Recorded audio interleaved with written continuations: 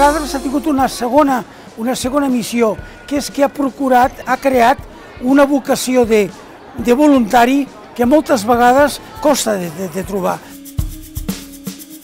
A mi, eh, Radars, el que m'ha enganxat és que tornem a revalorar el que és la vida de barri i potser eh, començar a, a calentar aquest refredament que té el viure en una ciutat que dintre de l'asfalt també se pot ser molt humà.